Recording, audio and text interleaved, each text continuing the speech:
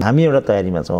अब अझ अझ हाम्रा ज्ञानेन्द्र पनि बोलेका छैनन्। समय छ साथी हो जाग्दै रहो ढिलो भइसक्यो हामीलाई त तिमीहरूले दमन गरेर दाहिने देब्रे गरौला। इतिहासलाई के भन्छौ त भोलि? तिमीहरूले वाचन गर्ने गरेको कविता त तिम्रो सदनमा सुनिल शर्माले पढेर सुनाउनु पर्यो त। लाज लागेन तिमीहरूलाई अलिकति पनि? तिमीहरूले के ठानेको छ? सुनिल शर्माको बुत्ताबाट त्यो त्यहाँ पढिएको भन्ने लागेको छ तिमीहरूलाई? त्यही हो तिमीहरूको बुझाइ। तिमीहरूलाई मात्रै आउँछ कि कुटनीति चल्न? अरूलाई आउँदैन। बाटो बिराइसकेको साथी हो तिमीहरूले। लासभित्र पनि एउटा मान्छेले म जिउँदैछु भनिदियो भने इनफ हुन्छ के? अङ्ग प्रत्यङ्गको कुराले हाम्रो एउटा कमरेडनीको कस्तो स्थिति आयो हामी देखिरहेछौँ नि। दुर्गा पसाईले जिते। के गर्न सकिन्छ त एक्लो व्यक्तिले? के ज्ञानेन्द्र जस्तो उनीहरू थपक्क नै उठेर नागार्जुन जङ्गलमा गएर डेरा सार्नेपट्टि छन् त उनीहरू। के भइरहेछ त देशमा? इतिहासकै सबभन्दा ठुलो सङ्कटमा छ यो। कर्फ्युलाई पनि तोडेर चिज अगाडि बढ्यो भने श्रीलङ्का भइहाल्यो नेपाल। जब गलत काम गरिन्छ भने त सन्त्रस्त भइन्छ नि। मान्छेले खुलम खुल्ला भनिरहेछन् नि हामीले ज्ञाने चोर देश छोड भन्यौँ बेकार रहेछ। अब भविष्यमा माओवादीको एक स्थान मात्रै सुरक्षित छ त्यो जनार्दनको भन्ने छ। राजाकै कुरा गर्दा ल राजा आयो। फेरि कसरी धान्ने त त्यसलाई? दुर्गा पर्साई आए के हुन्छ त? Go in circle and kill them ठिक लगाइदिन्छु फेरि जङ्गल जान्छु। उनीहरू भनिआएका छन् कुरो सिद्धिहाल्यो प्रधानमन्त्रीको रूपमा उनले त्यो भन्न पाउँदैनन् खेदजनक छ। सबैले स्वीकार गरिसकेका छन् कि हामी सकिसकेका छौँ। प्रचण्ड आफैले पनि ढाँटेको छैन कि हामी माटो मटियामेट भइसक्यौँ। काहीँ पनि एउटा दार्शनिक यात्रा देखिँदैन। स्वयं दुर्गा पर्साईलाई लडाकु बनाएर लड्न पठाउने भनेको यही माओवादी होइन। आज विद्रोह गर्यो नि दुर्गा पर्साईले। के गल्ती भयो त? कि भन्नु पऱ्यो हिजो पनि गल्ती थियो। समसामयिक घटनाक्रममाथि केन्द्रित रहेर कुराकानी गर्नका निम्ति राजनीतिक विश्लेषक प्राध्यापक डाक्टर सुरेन्द्र केसी हामीसँग हुनुहुन्छ। डाक्टर साहब स्वागत छ। ल धन्यवाद। डाक्टर साहब सर्वप्रथम त तिहारको शुभकामना छ यहाँलाई। र योचोटि चाहिँ तिहारको रमझम नगरौँ भनेको के मैले? अब त्यत्रो पाँच सय मान्छे मरिरहेछन् यहाँ तिहारको रमझम देखेर म नेपालीहरूको संवेदनशीलतै हराएको जस्तो। अलिक शान्त बनाउनु पऱ्यो क्या? सुरुमै म चाहिँ त्यो भन्न चाहन्छु। मनाउने हो भने घरभित्र आफ्नै हिसाबले मनाऊ तामझाम। यो राष्ट्रिय शोक हो नि। यहाँ एकजना मान्छे यताउता भयो भने राष्ट्रिय बिदा दिन्छन्। अब एक सय सन्ताउन्नको त नामै आइरहेछ त्यो सरकारी आँकडा हो। मेरो विचारमा त्यहाँ पाँच सयभन्दा कम छैन। पशु पक्षीको कुरै चाहिँ मेन स्ट्रिमिङ भएको छैन। मसँग हिजो एउटा टकमा एकजना सिडनी बेस एनआरएनए साथीले चाहिँ काठमाडौँका कुकुरहरूको कुरा गर्दै थिए। त्यो कुरा गर्दाखेरि चाहिँ मलाई यहाँ पशुपतिका साँडे गोरुको पनि सम्झना चाहिँ आयो। किनभने बागमती पनि पिउन लायकको पानी छैन। ती साँडे गोरुहरूले खाने पानी ती नै हो। अरू जीवजन्तुले खाने पानी पनि त्यही नै हो। तर मैले चाहिँ जाजरकोटका पशु पक्षीहरूको नाम सुने। त्यहाँ एउटा लाइन के पनि आएको थियो भनेदेखि मरेका पशु पक्षीहरूको कारणले चाहिँ त्यहाँ हैजाको स्थिति आइरहेछ भनेर। वास्तवमा ठुलो राष्ट्रिय शोक हो नि त यो पल्टको भूकम्प त। त्यो बेलामा हामीले मन्द तिहार अब तिहार मान्नै पर्छ भने पनि मन्द तिहार मानौँ। यो बढी जुन डेन्टिङ पेन्टिङ छ हो हल्ला पटक्का खास गरी पटक्काले अराजकता छाएको हुन्छ क्या। टोल बस्तीमा बस्नै सकिँदैन। अनि यो बिजुलीको अनावश्यक चाहिँ प्रदर्शनी यो सब कुरा हेर्दा नेपालीहरूमा संवेदनशीलता बढ्दै नगएको भन्ने देखियो कि? त्यस कारणले म चाहिँ मन्द तिहारको पक्षमा छु। अ, तैपनि शुभकामनाको लागि धन्यवाद छ। डाक्टर साहब यो विषयलाई यहीँ राखेर मान्छेले आफ्ना आफ्ना धारणा छन्। संवेदनशील हुनुपर्छ यस्तो शोकको घडीमा भन्ने कुरा डाक्टर साहबले राख्नुभयो। वास्तवमा धेरै ठुलो क्षति भएको छ। यो जति गरे पनि यो क्षतिपूर्ति नहुने गरी क्षति भएको छ जनधनको। यो आफ्नो ठाउँमा दुःखद कुरा छँदैछ। डाक्टर साहब म अलिकति राजनीतिक विषयमा चाहन्छु। पछिल्लो समय मङ्सिर सात ठुलो ढोल पिटिएको स्थिति छ।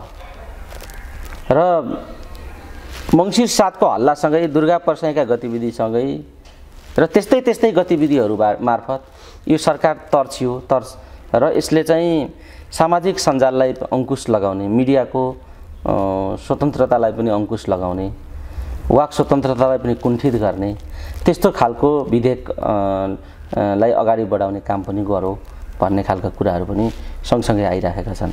यो मङ्सिर सात र सरकारको मनोदशा।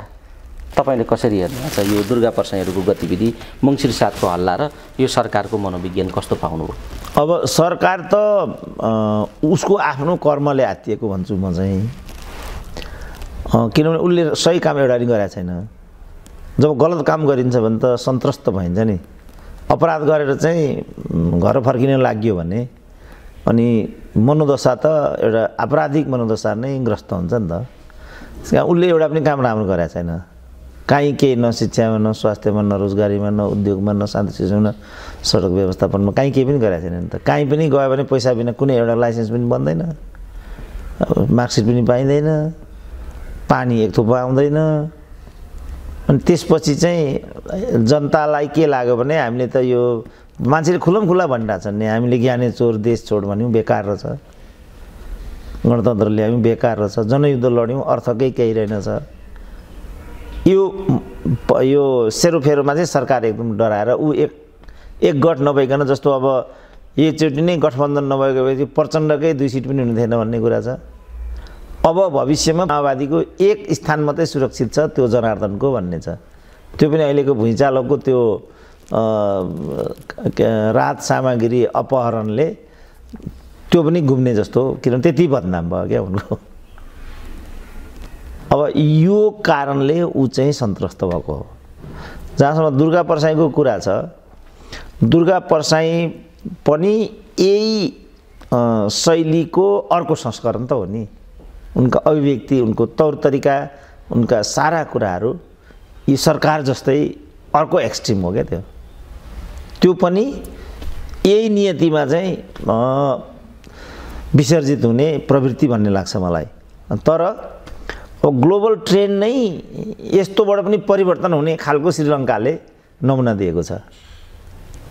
दिल्लीमै केजरीवालले करिब करिब यस्तै कुराहरू उठाएर ठुल्ठुला दलहरूलाई चाहिँ असान्दर्भिक बनाइदिए। त्यसकारण राजनीतिक रूपमा यसलाई पूर्णत खारेज गर्नु चाहिँ अपरिपक्वता पनि हुनसक्छ। तर दर्शनबाट हेऱ्यो भने चाहिँ यसरी आउने परिवर्तन र त्यसपछिको अवस्था। जस्तो राजाकै कुरा गर्दा ल राजा आयो। फेरि कसरी धान्ने त त्यसलाई? दुर्गा प्रसाई आए के हुन्छ त? त्यसकारण हामीले जो लोकतन्त्रको गलत अभ्यास गऱ्यौँ त्यसपछि हामी करिब करिब एउटा अराजक मनोदशाको सङ्घारमा छौँ। यो अराजकता चाहिँ विस्तारित भयो भने त सहरमा डढेलो लाग्ने बाहेक त केही पनि हुँदैन। सहरमा डढेलो लाग्यो भने कसलाई फाइदा हुन्छ त? अस्ट्रेलियामा आगो लागेको थियो दुई वर्ष तिन वर्ष अगाडि। त्यहाँ नौ लाख त जङ्गली पशु पक्षी मात्रै हताहत भए। र त्यहाँ एउटा अचम्मको दृश्य देखाइएको थियो। त्यस अनुसार उताबाट भयङ्करको डढेलो आइरहेछ।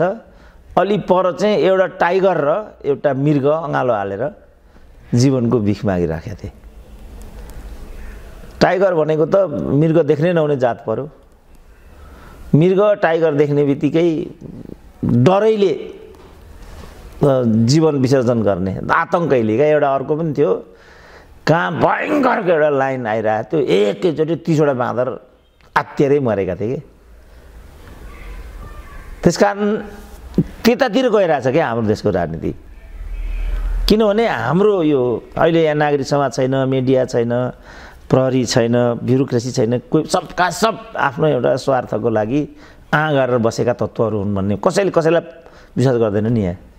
त्यो दिनमा चाहिँ त्यो मृग र त्यो टाइगर जस्तो अँगाला अँगालो हाल्नुपर्ने। अहिले भनौँ न शेरबहादुर र माओवादी भनेको त्यही मृग र टाइगर जस्तै होइन। यिनीहरू आतङ्ककारी हुन् खोजी खोजी मार्नु भन्ने चाहिँ हिजोको निर्देशन थियो। त्यो निर्देशन दिने फेरि अमेरिका। तर त्यो निर्देशनमा go in circle and kill them भनेर चाहिँ त्यति बेला क्लिन्टनले हात थपथप्याएर देउपालाई चाहिँ निर्देशन दिएका थिए र यहाँ जहाँ माओवादी देख्यो। माओवादी हिँडेको बाटो समेत पनि हानिदिनु भन्ने यो लाइन थियो। तर अब अहिले उनीहरू चाहिँ अस्ट्रेलियाको जङ्गल जस्तो मृग र टाइगर अँगालो हालेर हिँडिरहेछन्। हिजो चाहिँ गठबन्धन गरेर नआएको भएदेखि उनीहरू जम्मै तल माओवादी दसमा हुन्थ्यो होला काङ्ग्रेस चालिसमा हुन्थ्यो होला। अब आउने निर्वाचनमा त्यो कथा दोहोरियो भने अनौठो हुने छैन र एक नम्बरमा को पुग्नेछ भन्ने कुराबाट उनीहरू सन्तुष्ट छन्। रवि लामी छाने पुगिदिने हुन् कि? हर्क साम्पाङलाई ढोग्नु पर्ने हो कि? बालेन शाह यहाँबाट तेरो सिंहदरबाट आगो लगाइदिन्छु भन्दैछन्। राज्य चाहिँ अकर्मण्य भएर चाहिँ किम कर्तव्य विमुन भएर चाहिँ खडा भइरहेछ। त्यो मनोदशाबाट सायद उनीहरू यो खालको बखलाटमा आएका होला। तर अब राजनीतिक रूपमा यो चिज काहीँ गइराखेको छ र के भइराखेको छ भन्ने कुरा चाहिँ मैले पटक्कै सोचेको छैन। डाक्टर साहब यो तपाईँले भने जस्तो आफ्नै कर्मले कर्मको त्रास आफ्नै कुकर्मको त्रास भनौँ न कर्म गर्दा त राम्रा कुरालाई पनि जोडिएको हुन्छ। आफ्नै कुकर्मका त्रासमा सरकार छ भन्ने कुरालाई थप पुष्टि गर्दै प्रचण्डले रोल्पाको भूमिलाई प्रयोग गरेर जसरी हिजो मुलुकलाई तबाह बनाउन सफल भए। इतिहासको त्यो लामो कालखण्डपछि आफ्ना स्वार्थहरू सबै सम्पन्न गरिसकेर फेरि अहिलेको त्रास त्यहाँ गएर व्यक्त गरेको हामीले देख्यौँ र उनी फेरि थबाङमै मुन्टो जोतेर फेरि विद्रोह र क्रान्ति हुनेवाला छ। त्यो तयारी गर्दैछौँ म भन्ने खालको अभिव्यक्ति दिए। प्रधानमन्त्रीको कस्तो अभिव्यक्ति हो? यो यसलाई कसरी लिनुहुन्छ? माओवादी त्यो ठाउँमा छ अब।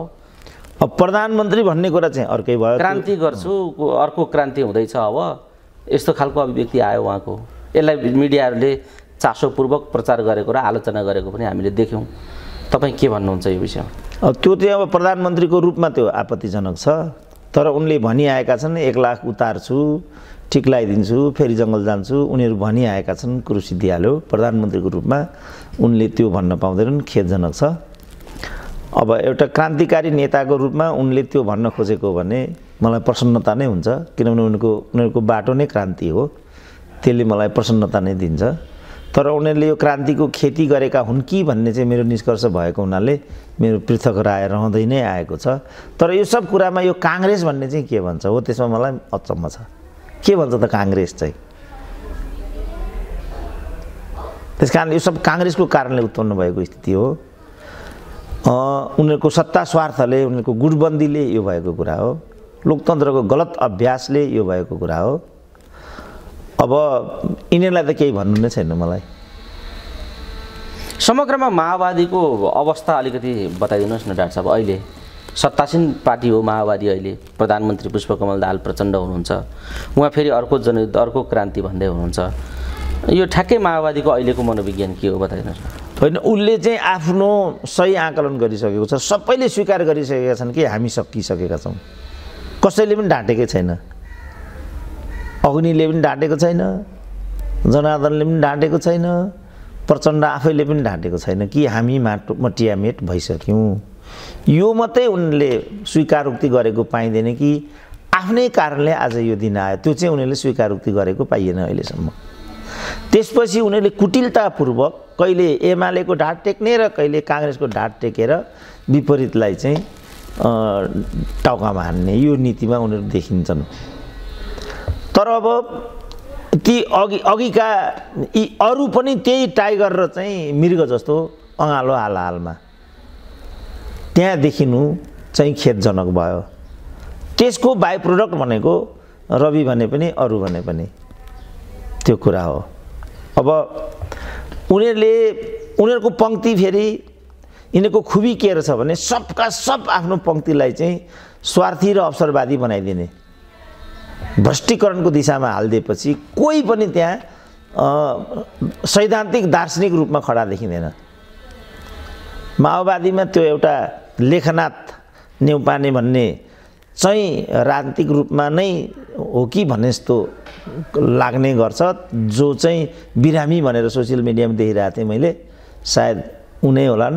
स्वास्थ्य शीघ्र शीघ्र स्वास्थ्य लाभको कामना पनि छ मेरो तर्फबाट।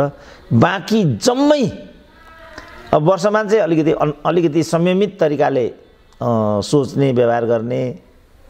बाँकी जम्मै कोही यौन काण्डमा फँसे कोही सुन काण्डमा फँसे कोही जनार्दन भए कोही कता गए। अब कहीँ पनि एउटा दार्शनिक यात्रा देखिँदैन।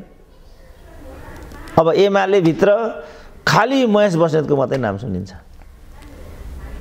हिजो हिजो योगेश भट्टराईहरूको नाम सुनिन्थ्यो रामकुमारीहरूको नाम सुनिन्थ्यो।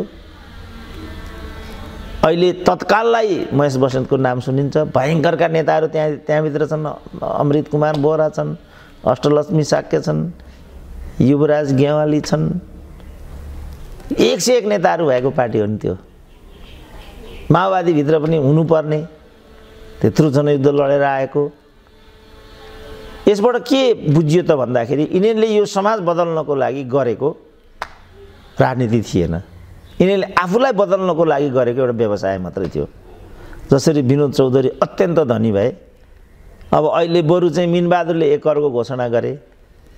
न खेतान न विनोद न हाम्रो दुर्गा पर्साइनले भनेका के के जाति छन् नि त्यहाँ अड्डा खड्डा के के भन्नेहरू। कसैले पनि एक रुपियाँ पनि बोलेको सुनिएन नि त। विनोद चौधरी संसारको नै पन्ध्र सय एकसट्ठीौँ धनी भन्ने छ संसारकै। अब त्यो संसारको धन भनेको कति धन हुन्छ भने म एउटा तथ्याङ्कबाट भन्छु। हामी जम्मै नेपालीको सम्पत्ति जम्मै नेपालीको सम्पत्ति भनेको चाहिँ छप्पन्न खरब हो। जम्मै नेपालीको। भारतको संसारकै धनी अम्बानीको चाहिँ मुकेश अम्बानीको चाहिँ छयानब्बे खरब एउटै व्यक्तिको। हामी जम्मैको छप्पन्न खरब एउटै साहुको छयानब्बे खरब भनेपछि कति सम्पत्ति हुन्छ त धनी मान्छेसँग? किनभने संसारका बाँकी मान्छेसँग उनान्सय उनान्सय प्रतिशत मानिससँग जति सम्पत्ति छ एक प्रतिशत मानिससँग त्यति नै सम्पत्ति छ। त्यति धनी हुन्छन् तिनीहरू। त धनको त्यत्रो एउटा थुप्रोमा बसेको हाम्रोमा परेको भनेको विनोद चौधरी हो। यत्रो सङ्कट पऱ्यो एक रुपियाँको कुरा नि गर्दैन। कहाँ अलिकति के घर बनाइदिने भन्ने चाहिँ सुनेको थिएँ। कति रकम के भन्ने कुरा अब अझ अझ हाम्रा ज्ञानेन्द्र पनि बोलेका छैनन्। पशुपति राजा पनि बोले जस्तो लाग्दैन। उनको बरु आत्मकथा प्रकाशनमा आउन लागेको छ भन्ने। सुने? तर यो दसजना अति धनी मध्ये पर्छन् उनी पनि। बोलेको सुनिनँ। बरु आफूलाई चाहिँ लगेर जेलमा कोचेका मिनबहादुर अग्रसर भए एक करोड अनि एघार लाख एघार हजार प्रचण्डको चरणमा हस्तान्तरण गरेको फोटो मैले फेसबुकमा देखाएको थिएँ। त भनेपछि धनी हुँदैमा कर्तव्यशील भइन्छ ठुलो हुँदैमा कर्तव्यशील भइन्छ भन्ने कुरा झुटो हो भन्ने कुरा यिनीहरूले व्यवहारबाट देखाए। र यही धनीको होडबाजीमा नेपालका राजनीतिक दलहरू लागेको भन्ने अनेक घटनाहरूले पुष्टि गर्छन्। जस्तो अमरेश कुमारले के भनिरहेछ भनेदेखि त्यहाँ एउटा घरमा करिब करिब खरब रुपियाँ भन्ने छ क्या त्यो सत्तासीनमध्ये एकजनाकै हो भनेको छ। यिनै दुई तिनजना मध्ये तिनजना मध्ये कसैको हुनुपर्छ त्यहाँ डेरा सारेको साह्रै छन् बिचराहरूले पैसा सार्दा सार्दै हैरान भइसके। यहाँ पत्तो पाउँछन् कि भनेर राखेका ठाउँमा फेरि डराउँछन् अर्कातिर सार्नु पऱ्यो फेरि डराउँछन् अर्कातिर सार्नु पऱ्यो पैसा कुदाएको कुदाइ छन्। यस्तो छ। डाक्टर साहब अब अमरेश कुमारले भनेको कुरा सत्य हो त्यो। हो यसको छटपटाट चाहिँ यिनीहरूलाई। अब यो सबै सुरक्षित गरिदिनु पऱ्यो नारायण काजीले यता म सुशासन भ्रष्टाचारीलाई छोड्दिनँ भनेर उफ्रिँदै थिएँ। उता त्यो अपराध गर्ने चाहिँ इन्स्ट्रुमेन्टल चाहिँ उनको प्रहरी प्रशासन भइरहेछ भनेपछि अनि यो सब बापत यिनीहरूले दण्डित हुनु पर्दैन त। यो कुनै कम्युनिस्टले सहने व्यवहार हो यो।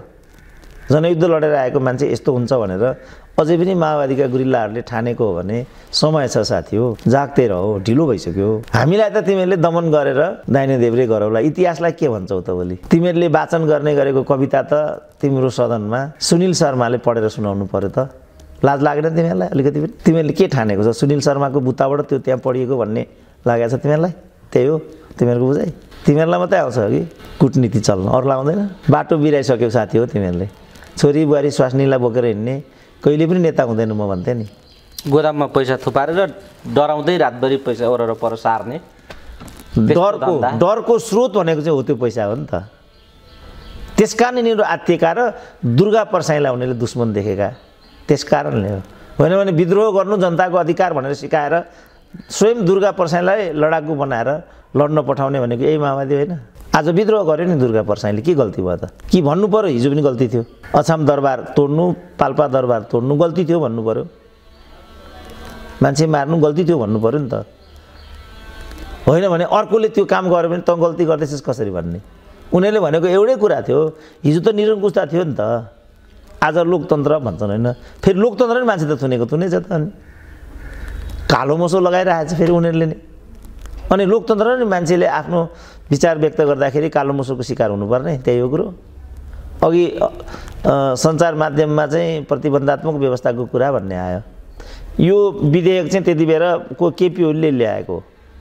यसका आधारमा केपी ओलीलाई प्रतिगामी भनिएको थियो हिजो। अहिले ठ्याक्कै त्यही चाहिँ रिओपन गरिएको मात्रै हो। कुनै नयाँ होइन त्यो।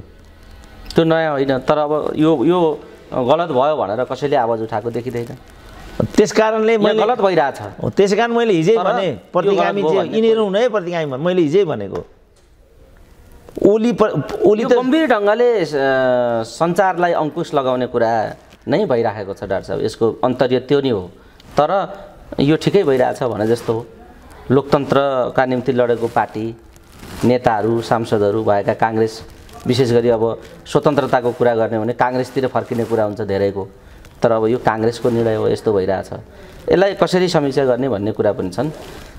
सायद यो अदालतमा मुद्दा पर्छ होला चाँडै। यो एकातिर यस्तो छँदैछ। अर्कातिर डाक्टर साहब यो जुन खालको दुर्गा पर्साईकै चर्चा छ अहिले दुर्गा पर्साईले जुन खालको अभिव्यक्ति दिइराखेका छन् सत्ता चाहिँ गठबन्धन माओवादी काङ्ग्रेस गठबन्धनको सरकार छ। तर उनको प्रहारको लक्ष्य चाहिँ एमाले देखिन्छ। प्रतिपक्षी दलमाथि उनी बढी आक्रामक देखिएका छन्। के भइराखेको हो यो भन्ने पनि धेरैको यसमा आशङ्कासहितको जिज्ञासा छ।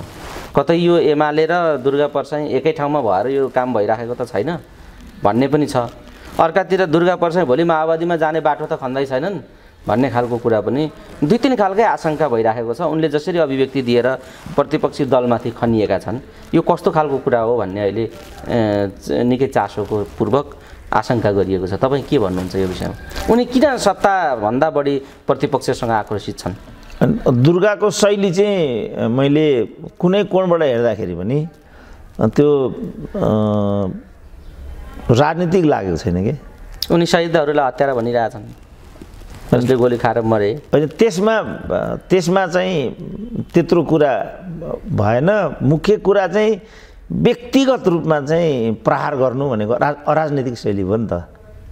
हामीले त आलोचना गर्दाखेरि पनि शिष्ट संयमित गर्नु पऱ्यो तर्कपूर्ण अभिव्यक्ति आउनु पर्यो। जस्तो मलाई प्रसन्नता पनि भयो। नेपालको माथिल्लो तहको सबै मान्छेसँग चाहिँ दुईवटा मध्ये एउटा डकुमेन्ट फेक छ भन्थेँ नि म। या नागरिकताको प्रमाणपत्र होइन भने शैक्षिक प्रमाणपत्र।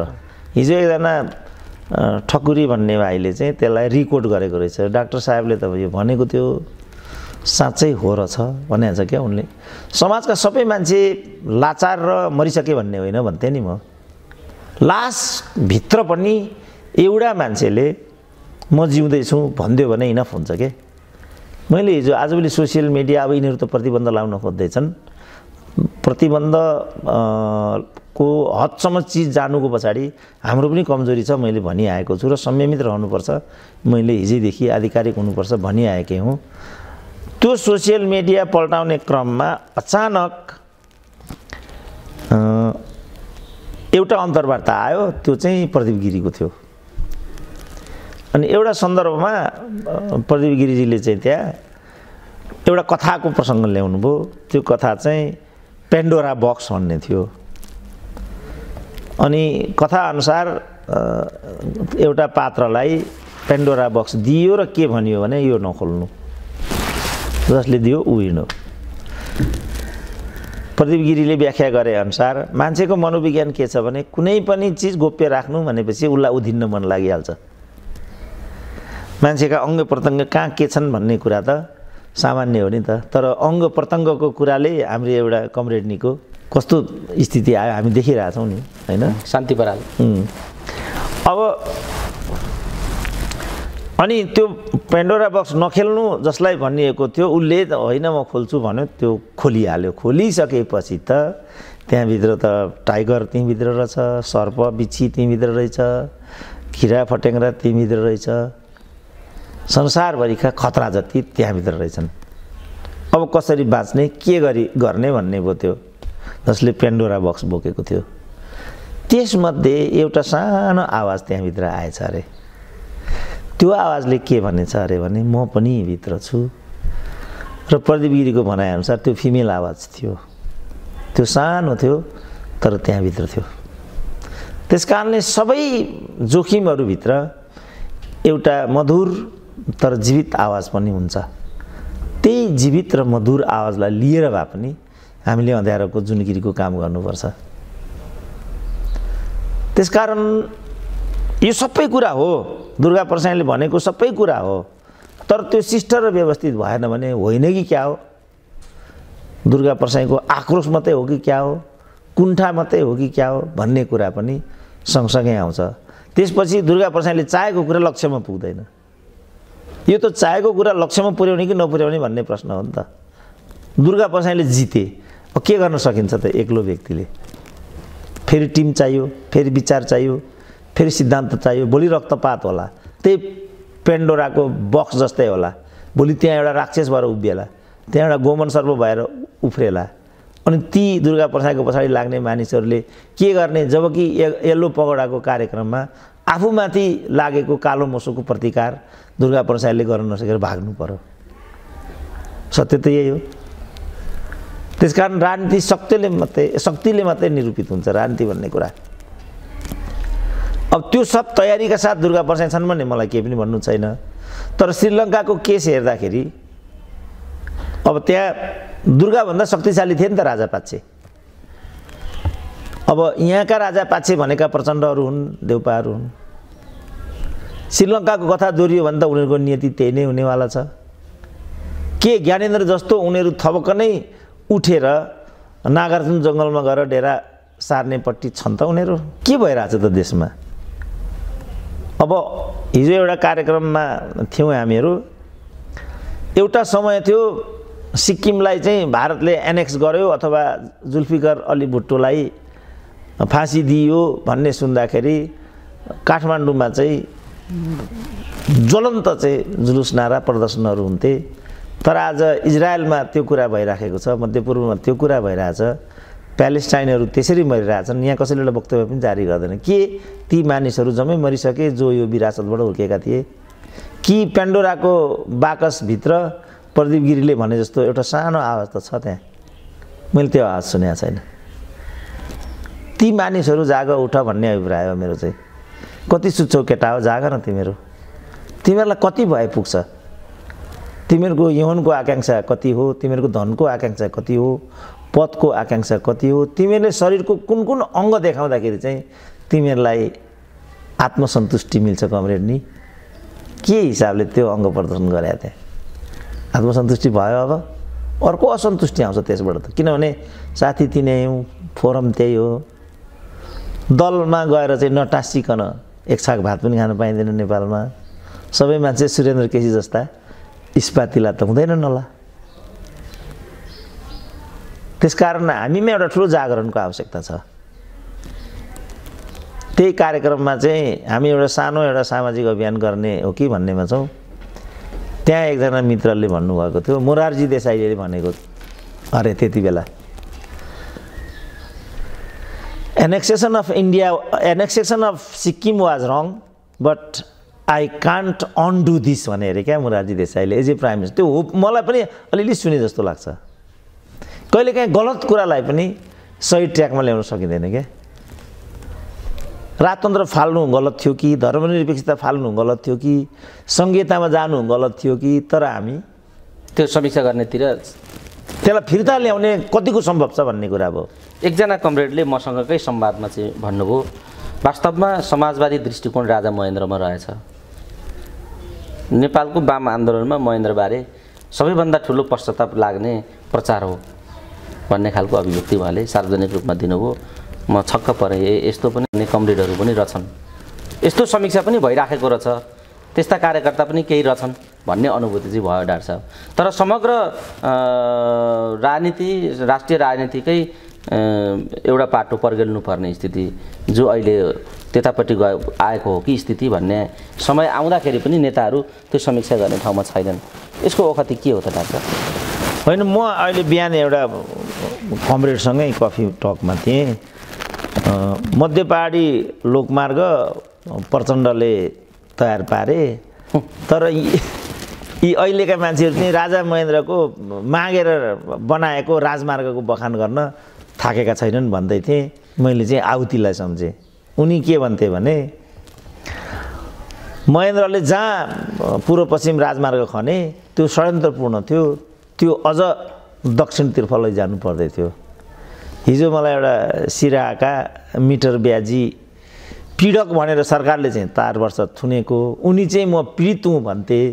यही नीति नेपाल सरकारको रहिरह्यो भनेदेखि राजमार्ग दक्षिण चाहिँ नेपालले थामी खान सक्दैन भन्दै थिए। भनेपछि त के चाहिँ सही हो? एउटा दृष्टिकोण चाहियो के? के चाहिँ सही हो?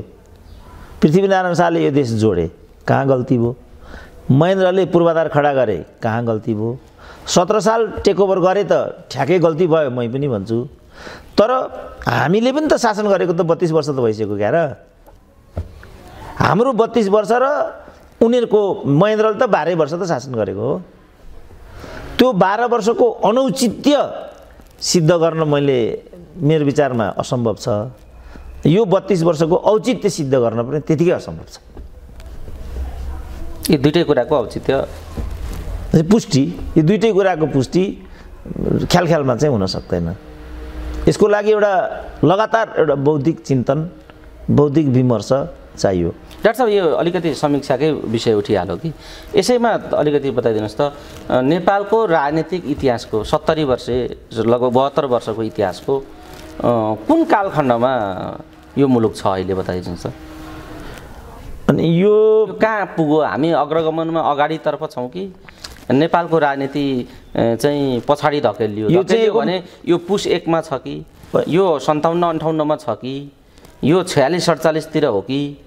यो कता पुगेको हो अहिलेको स्थिति? परि परिस्थितिले कता लगेको देख्नुहुन्छ डाक्टर साहब? होइन यो त अब यदि डाक्टर शेखर कोइरालालाई एउटा राजनीतिक अस्तित्व मान्ने हो भनेदेखि इतिहासकै सबभन्दा ठुलो सङ्कटमा छ यो। यस्तो सङ्कट कहिले थियो त? पुस एक थियो? होइन। साल हो? यस्तो सङ्कट चाहिँ यो सङ्कट इतिहासको कुन घटनासँग मिल्दोजुल्दो छ होइन सङ्कट चाहिँ इतिहासको कुनै घटनासँग नि मिल्दैन किनभने यत्रो सङ्कट इतिहासले कहिले पनि बेहोरेको छैन। चरित्र चाहिँ खण्ड खण्ड गरेर मिल्छ जस्तो भीमसेन थापाको अवसानबाट जङ्गबहादुरको उदयको बिचमा यस्तै हो एउटा। प्रजातन्त्रको पुनर्स्थापनाबाट ज्ञानेन्द्रको उदय यस्तै हो। त्यसपछि यता फेरि सेम हो त्यो। एमाले काङ्ग्रेसको स्थितिबाट प्रचण्डको उदय चाहिँ कस्तो हो? त्यो त संसदीय लोकतन्त्र प्रजातन्त्र हुँदाहुँदै उठेका हतियारहरूले पैदा गरेको यो स्थिति चाहिँ कस्तो हो डाक्टर होइन त्यो त्यो चाहिँ अहिलेको जे परिस्थिति हो दलीय प्रतिस्पर्धा पनि थियो संसदीय व्यवस्था पनि छँदै थियो तर पनि यो संसदीय व्यवस्था भनेको चाहिँ ए खसीको टाउको देखाएर कुकुरको मासु बेच्ने धन्दा हो भनेर हतियार उठाएको प्रचण्डले दलीय प्रतिस्पर्धा गर्ने अधिकार हुँदाहुँदै। दल खोल्ने अधिकार नभएको त स्थिति थिएन। एमाले काङ्ग्रेस जनमोर्चा त राजनीति नै गरिराखेका थिए। भनेपछि त्यो लोकतान्त्रिक अधिकार सहितको व्यवस्था हुँदा पनि हतियार उठाएको माओवादीले जुन खालको गणतन्त्र भनेर आज यो स्थितिमा आइपुग्यो मुलुक यो कस्तो स्थिति हो र अब कता जाने सङ्केत हो यो? यो चाहिँ मानव इतिहासको सबैभन्दा ठुलो सङ्कटमा आइपुग्यो देश लोकतन्त्र खोज्दा खोज्दै भनेपछि अब कता पुग्छ त विषय भन्ने तपाईँलाई के लाग्छ डाक्टर साहब? होइन अब त्यो अब शेखर कोइरालालाई एउटा बुझाइको तह मान्ने हो भने त धेरै नै नराम्रो स्थिति आउने भयो भन्ने भयो नि त। किनभने अलिक खुलेरै बताइदिनु न शेखरसँग होइन शेखरले खुलेर मलाई भनेन मैले खुलेर बताइदिने हो। शेखरले पनि खुलेर चाहिँ भन्न सक्नु भएन। शेखर म कहाँ आउनु र मुलुकको स्थिति सङ्कटापन्न छ भन्नु आफै पर्याप्त भएन र भने।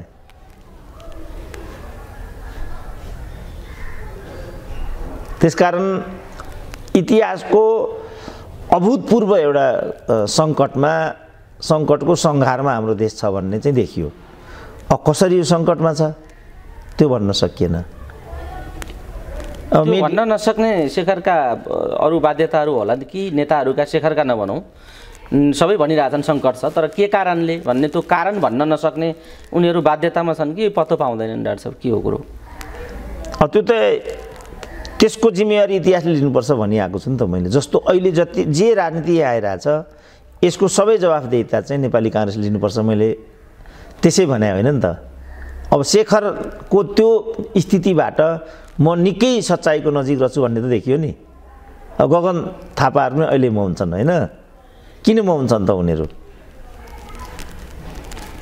केपी ओलीले पनि भेट्ने कुरा गरेका थिए। उनले भेटघाटलाई रोके नि त। भेट्ने कुरा गर्नु आफै शेखर सरहको मनस्थिति हो। नि त्यही कारणले उनले भेट्न खोजेको रहेछ भन्ने कुरा यहाँ जुट्न खोज्छ नि त। त्यस्तो भएको हुनाले हामी चाहिँ इतिहासको अभूतपूर्व सङ्कटको क्षणमा छौँ। यस्तो योभन्दा उता कहिले पनि थिएन। किनभने हाम्रो राष्ट्रिय सङ्कटको क्षण कहिले पनि आएन यो देशमाथि। ज जब जब जब आउन खोज्यो तब तब शासकहरूले यसलाई चाहिँ सम्बोधन गरेर यो देशलाई यहाँसम्म ल्याए।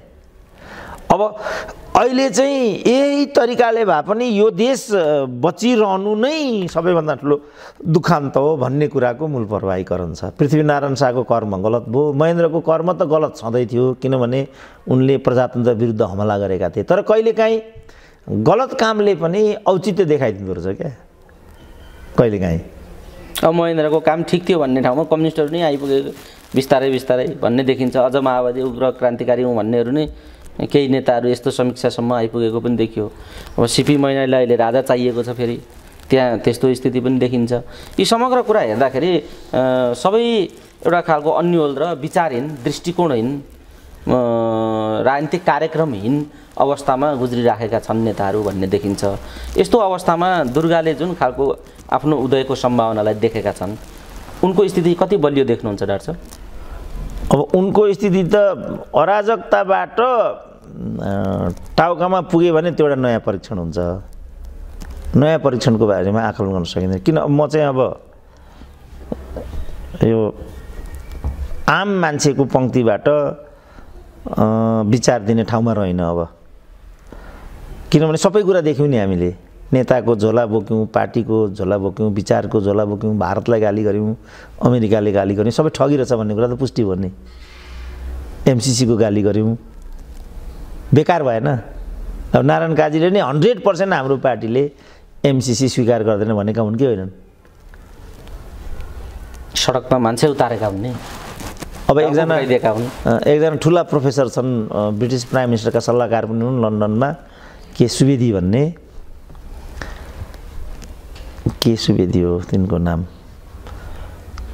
त्यो तहको मान्छेले चाहिँ यो व्याख्यासहितको एमसिसीको पक्ष पोषण गरेको भन्ने कुरा आयो बाहिर। उनकै बुद्धिबाट यो भएको भन्ने छ अझ अब अहिले एमसिसी कहाँ छ कोही पनि भन्न सक्दैन। र यो एमसिसी भनेको एउटा प्रपञ्च हो भन्ने कुरा नाङ्गै छ। अब यहाँ अहिले पढे लेखेका मान्छे पनि छन् होला नि त नेपालमा। म जस्ता प्राडा पनि छन् होला। बुझ्दैनन् त उनीहरू त्यो कुरा। किन भन्दैनन् त उनीहरू? हो त्यो हाम्रो जुन अघि दुर्गा प्रसाईले हाम्रो प्रदीप गिरीले भनेको पेन्डोराको बाकस जहाँभित्र राक्षस टाइगर लाइन बिच्छी मात्रै छन् तिनीहरूले च्यापेर राखेको छ कि एउटा सानो आवाज। अरू सबै मृत जस्तो लाग्छ मलाई। त्यही किताब मलाई बारम्बार सम्झना आउँछ जिउँदो युगका मरेका मान्छे हौँ क्या हामी। मरेको मान्छेबाट त्यति धेरै अपेक्षा गर्न सकिँदैन। हामी जिउँदै छौँ भने त्यो बच्चाको जस्तो सानो आवाजको जस्तो भन्न सक्नुपर्छ म पनि यहाँ छु। कसरी भन्ने? भन्ने माध्यम के हो? होइन भन्ने माध्यम त राजनीति होइन भन्ने माध्यम भनेको? होइन राजनीतिलाई बुझ्नु राजनीति राजनीति के हो? अघि मैले भने नि त कोही त बोलिदिनु पर्यो भने नि एउटा माओवादीमा त्यही लेखनाथ नेउपाने एउटा चाहिँ हो कि भन्ने लाग्छ भने होइन? समग्रमा दलका कार्यकर्ताहरू को होस् फिर्नु पर्यो भन्ने हो डाक्टर समग्रमा तिमीहरू त्यो बच्चा जस्तो त्यहाँभित्र सानो आवाज लिएर भए पनि छौ कि छैनौ केटा हो भनेर सोधेको क्या मैले। सबै भनेपछि त्यो मधुर आवाज छ कि छैन भन्ने डाक्टर साहबको खोजाइ हो अहिले। यस मेरो खोज चाहिँ त्यो खोज्यो त्यहाँ छौ कि छैन? जम्मै मरिसक्यो तिमीहरू। कि छौ जिउँदै? कि छौ त्यहाँभित्र? सानो भए पनि छौ कि भनेको मैले। उनीहरूले आजसम्म त मलाई नै सबैभन्दा डरलाग्दो प्रतिगामी भनेर बुझे यहाँका लालबुजा कडहरूले भनौँ न। त्यसरी बुझ्नेहरूले अब थाहा पाउँछन् डाक्टर समय आइ आउँदैछ। को हो के हो स्थिति भन्ने कुरा डाक्टर साहबले भनिसक्नुभयो शेखरले एउटा सङ्केत दिइसके प्रचण्ड रोल्पा गएर के भन्दैछन्? गगन विश्वप्रकाशहरू किन चुप लागे? यी कुराले नै अब के हुन्छ भन्ने कुराको छनक त मिल्छ राजनीतिमा काठमाडौँका गल्लीमा ठुलै चर्चा सुरु भइराखेका सुन्छौँ हामी। त्यो एउटा पाटो छँदैछ त्यसो भन्ने साथीहरूलाई भोलि उहाँहरूले पनि जवाबदेही हुनुपर्छ। जाँदा जाँदै डाक्टर साहब एउटा कुरा अब ठ्याक्कै जुन खालको परिस्थिति छ भन्ने कुरामा संवेदनशील ढङ्गले कुराकानीहरू भइराखेका छन्। तपाईँ के भन्न चाहनुहुन्छ डाक्टर साहब सर्वसाधारण दर्शक श्रोताहरूले चाहिँ? अब चाहिँ जम्मैले मङ्सिर सात भनेका छन्। अब बुद्धि हुने विद्वानहरूलाई त भन्नु परेन। किन उहाँहरू सबै बुझेर एमसिसी बुझेर सरकारका मान्छे बुद्धिजीवी पार्टीका कार्यकर्ता सबैले बुझेरै यहाँसम्म आयो परिस्थिति। तर आम दर्शक श्रोताहरू जो अमूर्त पनि हुन्छ जनताको आवाज एक ढङ्गले भन्यो भने। जनता अमूर्त चिज पनि हो। त्यो चिजलाई तपाईँ के भन्न चाहनुहुन्छ? अब अहिले सबैले मङ्सिर सात भनिरहेछन्। मङ्सिर सात वास्तवमा मङ्सिर सातको रूपमा आउन आँट्यो भने मुलुकमाथि मैले त कर्फ्यूकै स्थ- स्थिति आउँछ अब। कर्फ्यूलाई पनि तोडेर चिज अगाडि बढ्यो भने श्रीलङ्का भइहाल्यो नेपाल। कसैले रोकेर त्यो रो रोकिँदैन। अब दुर्गा प्रसाईको तयारी के हो त्यो मलाई थाहा भएन। यसमा महेश बस्नेतको तयारीलाई कसरी हेर्नुहुन्छ? महेश बस्नेतको प्रतिक्रिया एमालेको युवा सङ्घको प्रतिक्रिया र म दुर्गा पर्साईको बिचको टकराव जुन छ नि यो अघि मैले भनेको थिएँ डाक्टर साहबलाई शङ्काको दृष्टिले पनि मान्छेले हेरेका छन्। तपाईँ के भन्नुहुन्छ डाक्टर साहब? यसमा अलिकति क्लियर पार्दै होइन म त त्यसरी शङ्का गर्न चाहन्न तर चाहिँ उनीहरूको त्यो समान शैलीको एउटा प्रस्फुटन देखिन्छ क्या त्यहाँ।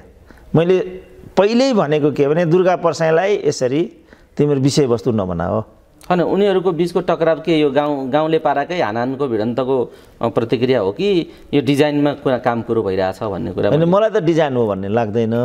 अचम्म मलाई के लाग्छ भने किन दलहरूभित्र ती प्रवृत्तिहरू चाहिँ हुर्किराखेका छन् र दलहरूले किन चाहिँ पार्टीभित्रको आदर्शलाई छोडे र यस्तो किसिमको प्रवृत्तिलाई बढावा दिए भन्नेमा मात्रै किनभने खालि महेश प्रसाई मात्रै होइन त कुरा त्यहाँभित्र त सिंह एमालेको कुरा हो। होइन सि सिङ्गो एमाले भित्रको त्यो प्रवृत्तिको कुरा हो।